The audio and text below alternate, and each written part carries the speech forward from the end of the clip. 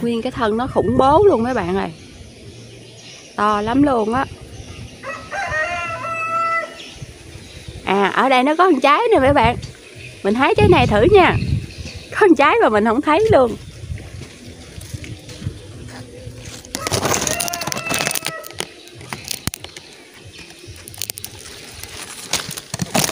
Trời ơi, nó chín lắm luôn rồi các bạn. Cái cạnh này nó cạ vô cái cây nên nó bị nám nè. Bên đây thì đẹp nha. Mình không thấy luôn á, mình không hay luôn. Nay ra quay cho mấy bạn mới thấy nè. Rồi chắc trái này ngọt lắm luôn á. Để vô rửa nha mấy bạn. Rửa ăn thử cho mấy bạn nghe Coi coi cái trái này nó ngọt không nha.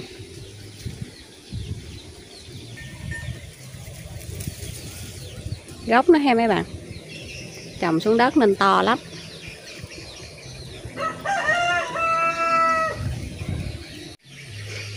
Rồi giờ mình ăn thử trái này coi nó ngon không nghe các bạn, ngọt không nha cho mấy bạn biết luôn nha.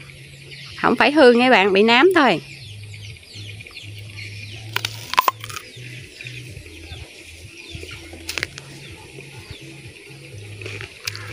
Ngọt lắm luôn á mấy bạn. Cái trái này nó chín lắm luôn rồi. Có thể đây là trái táo ngon nhất mà từ trước giờ mình được ăn á.